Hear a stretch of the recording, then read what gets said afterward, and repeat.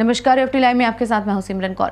अंबिकापुर, छत्तीसगढ़ शासन के स्वास्थ्य एवं परिवार कल्याण मंत्री टी एस सिंहदेव रविवार को दिल्ली से चार्टर प्लेन के द्वारा अंबिकापुर पहुँचे एवं यहाँ मात्र एवं शिशु अस्पताल के एसएनसीयू का निरीक्षण किया। उन्होंने अस्पताल में उपचार के दौरान विगत 36 घंटे में हुए पाँच नवजातों की मृत्यु के मामले में राजमाता देवेंद्र कुमारी सिंहदेव शासकीय चिकित्सा महाविद्यालय अस्पताल के वरिष्ठ अधिकारियों एवं चिकित्सकों से विस्तार से जानकारी ली। उन्होंने अधिकारियों को निर्देशित किया कि जिस भी स्तर पर कमियाँ महसूस की जा रही हैं, उसे दुरुस्त कर मरीजों को बेहतर चिकित्सा सुविधा उपलब्ध कराएँ।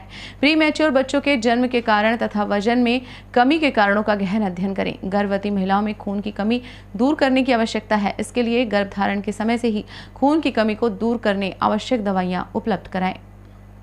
तो मैंने पता किया कि क्या जो बच्चे बाहर से आते हैं वो किस स्थिति में आते हैं? मतलब उनको लाने की क्या व्यवस्था है? तो पता चला कि न्यूनेटर वेंटिलेटर एंबुलेंस में नहीं होता है। यहाँ आते आते और वो मतलब क्रिटिकल हो जाते हैं। उसमें आ, मुझे नहीं लगता है कि ये अपने आप में एक कारण ऐसा माना जाना चाहिए।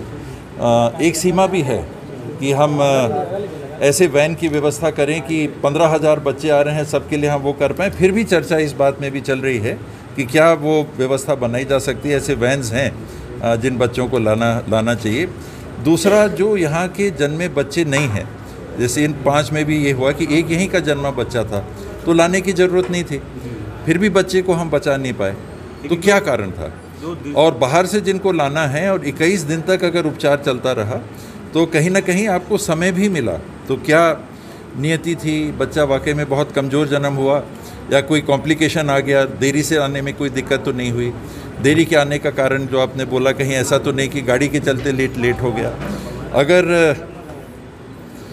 ऑक्सीजन रास्ते में नहीं मिल रहा था तो बच्चा शायद इक्कीस दिन तक सर्वाइव करने की बात नहीं होती। तो कई कारण हैं। उसमें आप जो कह रहे हैं वो भी एक देखा जा सकता है। इसकी बात पहले भी आई थी।